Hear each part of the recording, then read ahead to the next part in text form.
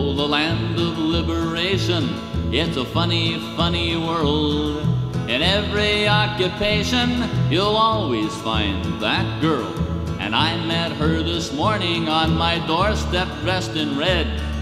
Pointing to her bundles, she winked at me and said, I'll lay them in the bedroom, sir, I can lay them in the hall. If I hook them in the kitchen, I can hang them from the wall. I'm an expert on your carpet, sir, I'm the best in all the world. I'm the happy hooker, your rug sales girl.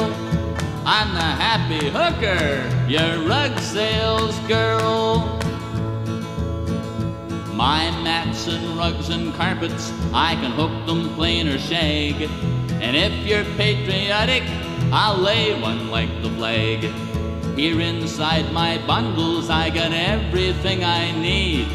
Rugs for all occasions, and my hooking's guaranteed. I'll lay them in the bedroom, sir, I can lay them in the hall. If I hook them in the kitchen, I can hang them from the wall. I'm an expert on your carpet, sir, I'm the best in all the world. I'm the happy hooker, your rug sales girl. I'm the happy hooker, your rug sales girl. Well, of all the sales jargon you get from door to door, this had to be the best pitch that I ever heard before. She untied her bundles, took her money with a shrug. Before I knew what happened, she was laying down the rug.